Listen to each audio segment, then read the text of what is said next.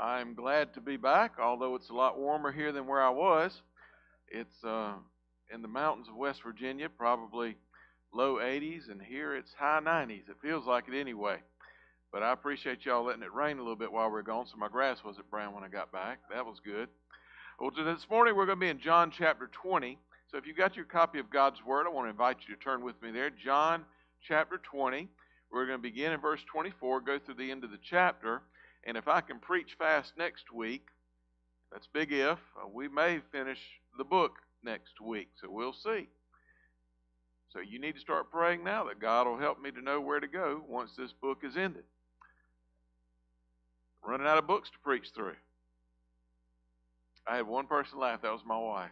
Well, I guess I'm not as funny as I thought I was. Cause anyway, uh, this morning I want to talk to you about uh, faith. You know, there's a time in a, lot of our lives where we miss something big and we wish we could have been there for it. Uh, if you have children, you may miss the first time your baby walks or the first words that child ever says, or you may hear, you know, there was a big party and you wouldn't believe what your crazy uncle did at this party. Oh, you should have seen it. You should have heard it. And you say, well, I had to work and you missed it. And, you know, it's a big uh, opportunity that's gone and you never have it again. Well, that's kind of what happened within the text that we're reading today. Jesus has risen from the dead, and he has appeared to 10 of the 12 apostles. Now, one of them's dead because he's a betrayer and he's Judas, and he died and he went to hell because he killed himself and after he turned his back on Jesus. So he's not around anymore. He, he, he's in hell not because he killed himself, but because he rejected Jesus. But he's gone. And then you have Thomas, who's another one. And of the 12, 11 are left, and Thomas just did not happen to be in the room that night when Jesus showed up. Now, the question may come to your mind why in the world did Jesus not wait until all 11 were there? He didn't wait because God, in His sovereign plan, knew that we would need what's going to be written in this text today. Because Thomas wasn't there, and in not being there, there was unbelief in his heart. Everybody else saw Jesus, he didn't get to see Jesus. Well, you and I haven't seen Jesus either. Uh, we've not seen his bodily, physical presence. And so you and I are going to find ourselves in the same place that Thomas found himself. And so we want to know what the Bible says about faith and about believing because what Thomas has gone through is what many are also going to go through. But God has something to teach us about faith from this text. So let's read it together and see what God has for us from this word about believing in Jesus. Verse 24, John chapter 20. But Thomas, one of the twelve, called Didymus, was not with them when Jesus came. So the other disciples were saying to him, We have seen the Lord. But he said to them, Unless I see in his hands the imprint of the nails, and put my finger into the place of the nails, and put my hand in his side, I will not believe. After eight days, his disciples were again inside, and Thomas with them. Jesus came, the doors having been shut, and stood in their midst and said, Peace be with you. Then he said to Thomas, Reach here your finger. See my hands? Reach here your hand and put it in my side. And do not be unbelieving, but believing.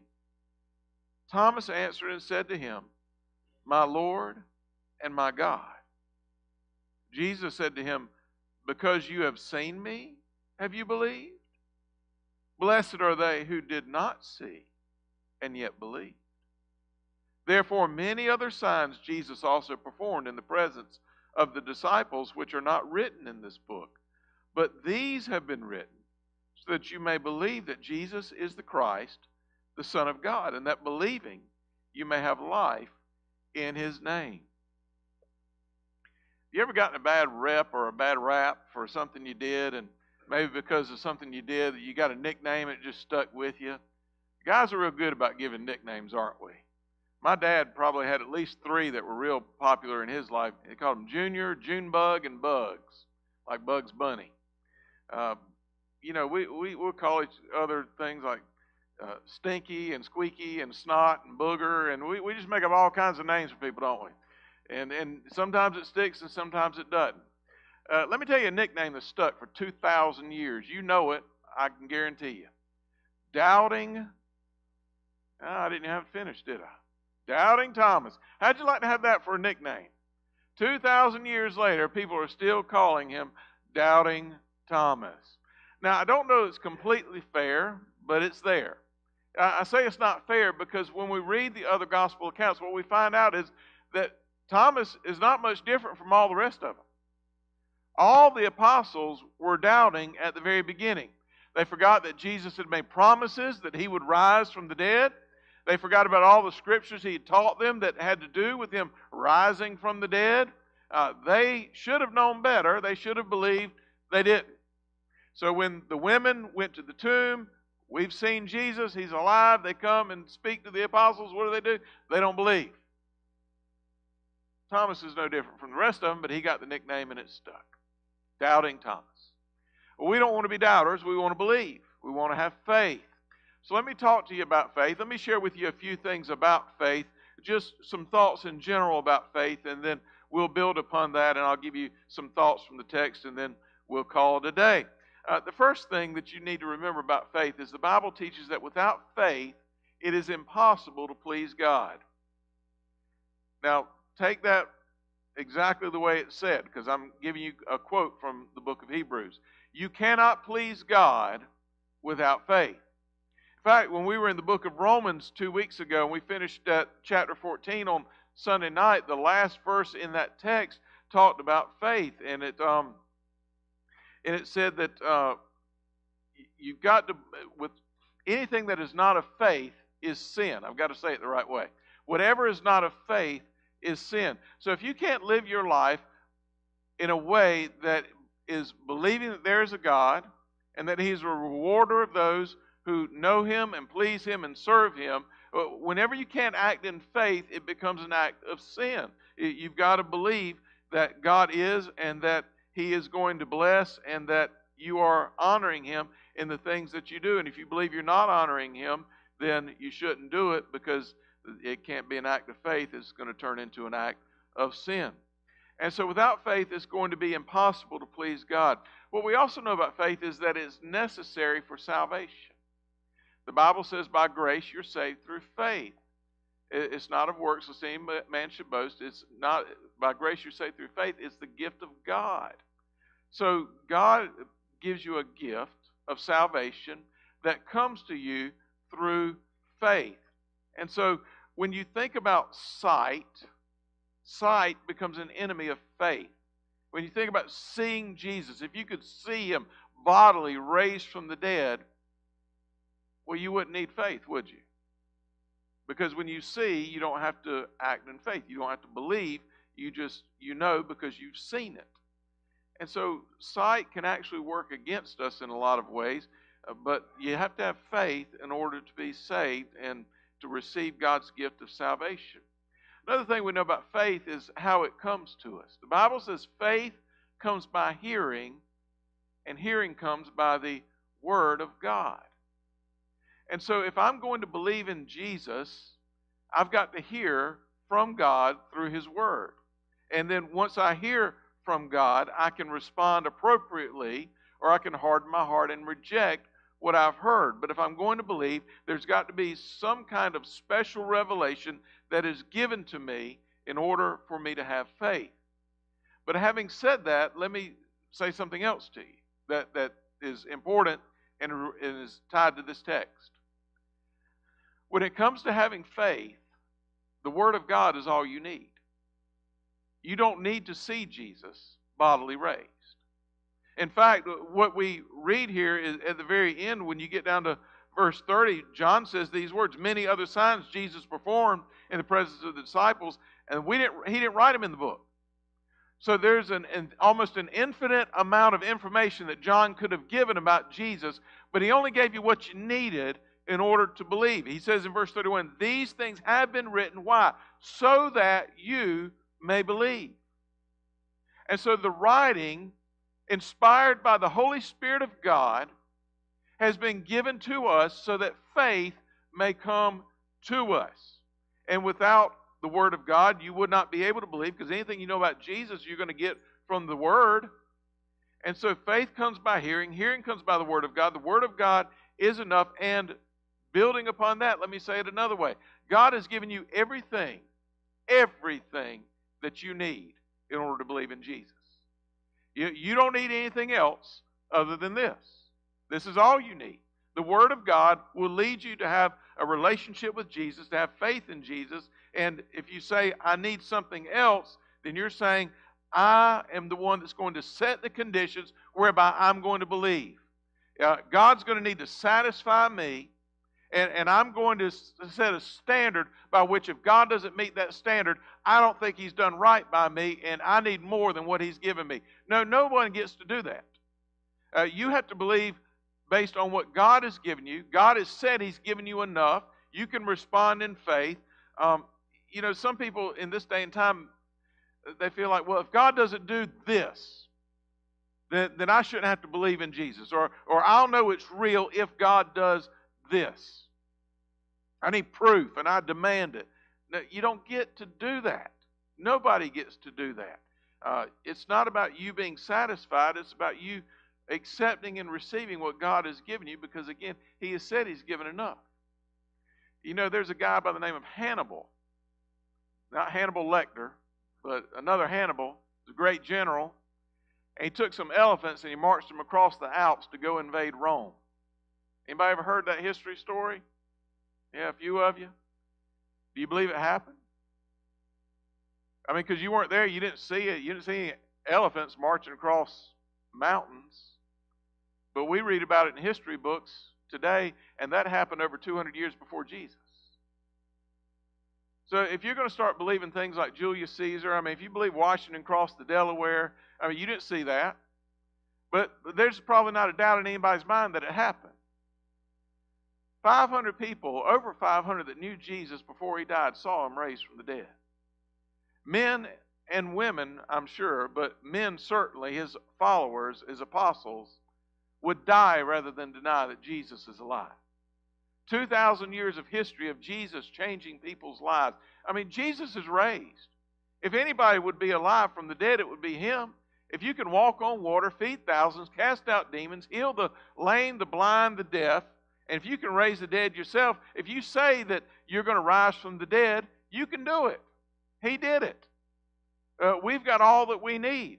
And if Jesus rising from the dead and all the evidence that you have is not enough, including the eyewitness testimonies that have been recorded for us and preserved by the Holy Spirit for 2,000 years, you're not going to get more. This is all you need.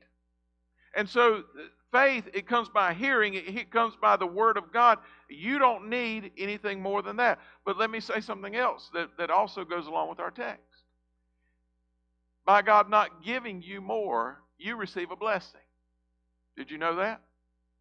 Uh, that's what the Bible says here in uh, verse 31. If you were to play a game and say, what's better or what's worse? What's inferior and what's superior? We, we could play games like that. I could ask you, what's better, a computer that was built in the 1970s or a computer that was built today? I mean, they say you've got more computing power in your phone than they had to send a man to the moon that thing in your pocket. So I'm assuming you'd say one built today is better than another one. Uh, let's ask another question. What would be better? To be Thomas and to be able to take your finger and put it in the hole in Jesus' hand, and to take your hand and put it up into his side where they rammed the spear into him after he had died, and to see Jesus bodily raised from the dead. Would that be better? Or would it be better to believe having never, ever seen the Savior alive from the dead? According to what I read here, the blessing comes to those who've not seen Him, and yet you believe. You might think that one would be better than the other. In fact, you're not in an inferior position if you're a believer than Thomas was. You're actually in a better position. The Bible says you're blessed. Remember what that word blessed means? Happy and fully satisfied. It has everything to do with the favor of God being upon your life. You have come to know God, to have your sins washed away. You're part of the family of God. Heaven is your home. You get to live an abundant Christian life here and now. Everything is yours because you have Christ. I got a quote here from Joni Eareckson Tada. Do you know who that is? She got paralyzed when she was young for decades. She's been in a wheelchair, snapped her neck, she hadn't been able to move in uh, for decades now. And she wrote about this verse, and she said, um, "I know the meaning of that now." She's talking about what it means to be blessed. She says, "The time after my death, where I'll be on my feet dancing." See, that's the kind of blessing that you get. I've never seen him, but I know he's real. I know he's there. I know he saved my soul, and I know what's coming. You don't have to see him. You just have to hear from him. God speaks to you through His Word. Do you believe what He said? It, don't miss the blessing that God's got. Blessed are those, I'm sorry, I think I said verse 31, it's verse 29. Blessed are those who did not see, and yet they believe. But what do you need to believe? That's a good question. Well, let's go over a few things here that are in this text. Uh, verse um, 31 says that these things have been written for this reason that you may believe that Jesus is the Christ, the Son of God, and that believing you may have life in His name. So you have to believe that Jesus is the Christ. Uh, what's involved with being the Christ? Well, that word Christ or Messiah is the same thing. It means anointed one. Uh, and it has to do with the Spirit of God coming upon someone. And that would usually in the Old Testament days acknowledge that by pouring oil on someone's head, and that's how they anointed them. But the specific Messiah, Christ, anointed one, was to fulfill all the offices that are given in the Old Testament of prophet, priest, and king. These were all people that were anointed in the Old Testament, and Jesus is the prophet, the priest, and the king. He is the one that the Spirit of God has come upon and so this means that all of the Old Testament scriptures about the coming one have been fulfilled in him. You've got to believe that this is the God of Abraham, Isaac, and Jacob, bringing salvation through the Lamb of God that's going to take away the sin of the world. He is the Christ. But he's not just the Christ, he goes on beyond that and says, You are the Christ, the Son of God. Now, to say that he is the Son of God makes him equal with God. In fact, if you look up at verse 28, Thomas says these words uh, once he hears and sees Jesus, he cries out, My Lord and my God. Think about what Jesus has done here. He's appeared in a closed room, just all of a sudden appeared. He did that before, he's done it again here in this text. Um, when Jesus appears, he's alive from the dead and he's got scars in his body and these holes there, but yet life is still in his body. But there's something else that's very interesting that you see in this text, and it, it kind of strikes you if you think about it for a minute. Thomas has had a conversation with 10 other apostles. Jesus was not bodily present when that happened. But yet, when Jesus shows up, he knows everything that's been said. Hey, Thomas, come here. You want to go ahead and put your hand in your finger in my hand? How could he know that? He wasn't there, was he? Well, he's God. God knows everything. God sees, knows everything. He knows the thoughts in your head. He knows every word you've ever spoken. Jesus responds to Thomas even though he was not bodily there. He knows. How does he know? He is God. You need to believe that Jesus is the Messiah. You need to believe that He is God. You need to believe that He has been bodily raised from the dead. But do you know that you can believe all of that and still die and go to hell? After all, the devil believes all that. Right? He knows it. Remember, we walk by faith. He saw it. He's seen the risen Savior. Not happy about it. But he knows that Jesus is God, one of the three persons of God. He knows that he's alive. He knows that he bodily came out of the tomb. He knows he's the sent one from God. Thomas doesn't just call Jesus my God. He says, My Lord and my God. That makes all the difference in the world, that word Lord. Uh, the word Lord, we might think of it as king, because that's what they call kings back in England and other places. My Lord, my Lord. They would say things like that. Uh, someone that is in authority over you. You are my Lord. So, what does this mean about Thomas? He's not just identified Jesus as God, but he says he's my God and he is my Lord. You see, when you really have faith in Jesus, there's repentance that takes place, and you're no longer the boss of your life. You're no longer the one that's in charge of yourself. You, you've turned and put your faith in Jesus and become a follower of His. You've surrendered your life to Him. You become one that is in allegiance with Him, and you're uh, obedient to Him now. And that's what it means to have Jesus as Lord of your life. Romans chapter 10 talks about this. Uh, it says these words, if I can flip over and get to it. When it talks about salvation, here's what Romans 10 says If you confess with your mouth Jesus as Lord, Believe in your heart that God raised him from the dead, you'll be saved. Now, who are we saved from? We're saved from God.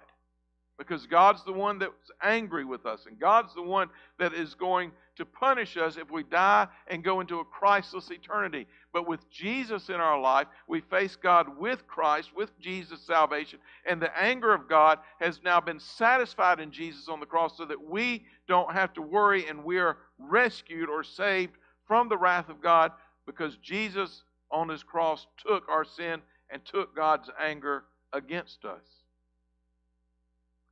Bible says if you believe that God raised him from the dead, you'll be saved. For with the heart, the person believes and it results in righteousness. With the mouth, he confesses and it results in salvation.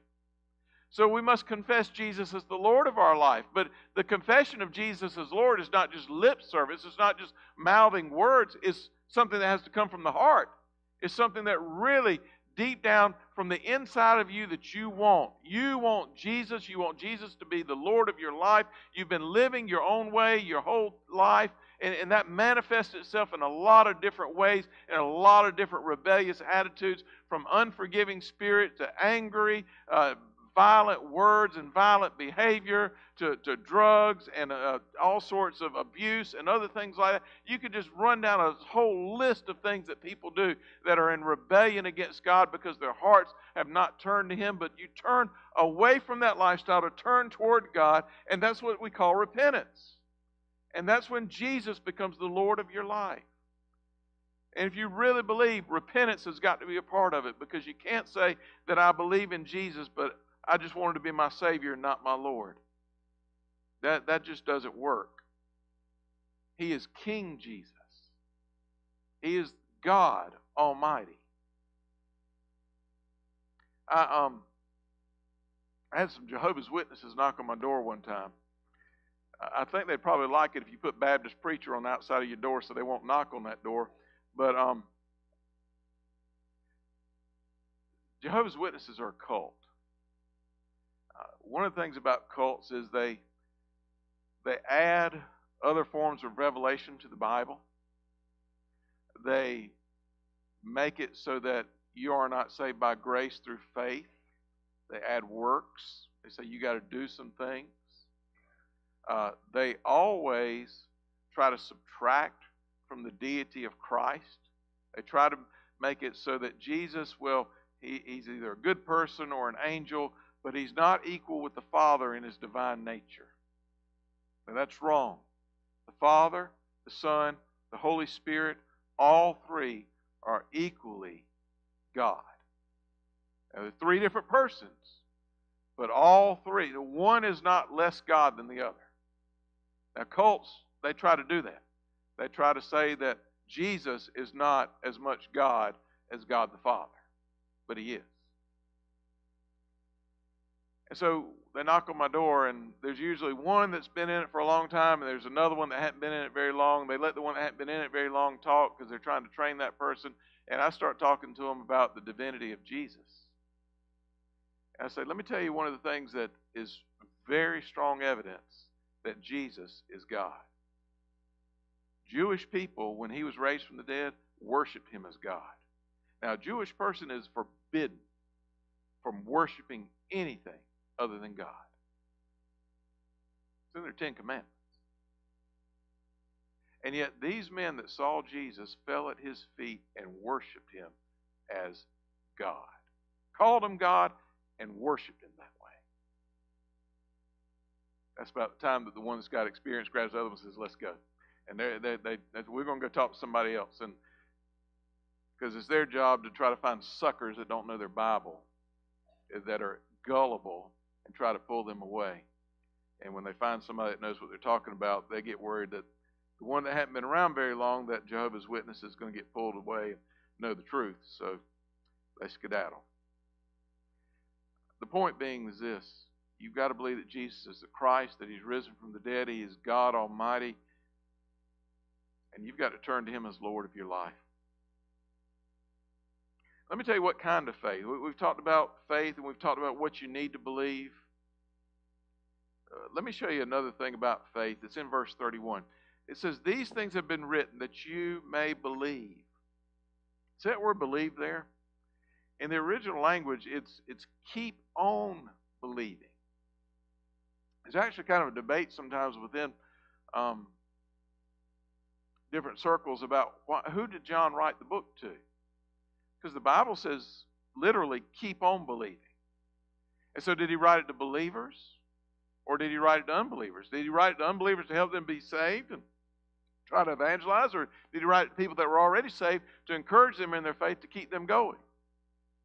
Now, I don't, I don't really think that you have to differentiate because if you're going to keep on believing, you got to start somewhere. I think John probably wrote it for both, but the truth is that believing in Jesus is not a one time thing. It's not I come to an altar, say a prayer, and then I never have to think about him again. I never have to live for him or serve him. No, when you believe, your faith is continuous, it's ongoing. For the rest of your life? No, for the rest of eternity. Uh, it's forever and ever and ever. Jesus is Lord. He is God. He is King forever and ever and ever. And John wrote these things so that you might Believe if you've never believed before, and you might keep on believing until Jesus comes and takes you home. And for all of eternity, you know that Jesus is Lord, God, Master, and Savior. That's what kind of faith you have to have. And so when, when I say something like that, and I talk about how you have to have this forever kind of faith, and He's forever your Lord, let me ask you have you ever believed like that? Do you know Jesus this way? Is Jesus the one that you serve and that you honor and that you live for? Do you have the kind of faith that repented and began following after Jesus? Because you don't just follow him for one day, you follow him forever. He's not Lord just for one day, he's Lord forever. He is your God forever. You ever known someone that believed and they believed for a little while and they quit? I have. They just tell you, I don't believe anymore. Well, they're lost. Now, you need to hear that because Christians in this day and time, if that person dies, will say, well, they believed when they were a little boy and they're saved, they're in heaven today, even though they denied Jesus for the next 20 years. No. No. It, your, your faith lasts, it perseveres, it keeps on. Uh, he that believeth unto the end shall be saved. It's not those that believe one time and then turn and walk away. Your faith has to continue on, and that's an evidence that the Holy Spirit of God has done something in your heart and in your life. Remember that Jesus said you must be born again. There's a time when faith is birthed into your heart and in your life, and you become a child of God, and you're forever that child of God. You, you don't fall away and quit on Jesus. And you need to fight for your faith. Because sometimes it's harder to believe than others. And sometimes we go through seasons of doubt and discouragement and despair and, and trials and temptations and things like that. The faith that you have, work hard on it. Keep it. Don't turn and walk away. Don't let anything defeat you and push you out. You've got to believe, and you've got to believe forever. Do you believe? Have you ever believed? Has there ever been a time when you have been born again into the family of God? You know, another thing that the Bible teaches about faith is that faith without works is dead. If you've got a faith that doesn't express itself by the way that you live your life, it's not a real faith. In other words, you can say, I believe in Jesus, but if your life, by the way you live it, indicates you don't live like somebody that believes in Jesus, then it's probably evidence that you really don't have Jesus as Lord of your life. Faith without works is dead. One of the works that God gives us for salvation is whosoever shall call upon the name of the Lord shall be saved. It says it over and over and over again in the Bible. If you've never believed in Jesus, there's an opportunity for you today. Has there ever been a day where you've called on Jesus and surrendered your life to Him and He's become the Lord of your life? You follow Jesus, you want Jesus, and you love Jesus. Peter said, though you've never seen him, you love him. Do you love Jesus? That's an evidence that faith is real and salvation is real. You love Jesus. Is Jesus the Lord of your life? What do we need to believe? We need to believe Jesus is alive. He is God, and He can save us. You got to believe that Jesus will save you. Some people don't think Jesus will. They say, I, have just done too much, preacher. I've I've gone too far. I've, I've fallen too far away. There's no sin that you've committed that Jesus cannot and will not forgive. The only thing that'll send you to hell is rejecting Jesus. So you need to say yes to Him today if you never have. And if you have, you need to celebrate. Because why did John write these things? I've written these things that you may believe, and that in believing you may have eternal life. You may, well, he says life. You don't just have eternal life, you have the abundant life. Right here, right now. It starts today, not later, now. Because anytime you have life with Jesus, it's good. Pray with me, church. Father,